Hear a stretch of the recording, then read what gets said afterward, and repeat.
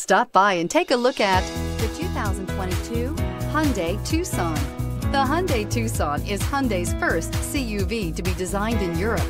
Tucson takes the boxy utility vehicle and transforms it. With flowing curves, graceful lines, and style to spare, it's the future of the crossover and is priced below $30,000. This vehicle has less than 100 miles. Here are some of this vehicle's great options. Aluminum wheels, traction control, daytime running lights, remote keyless entry, FWD, headlights auto off, mirror memory, security system, cruise control, trip computer. Is love at first sight really possible?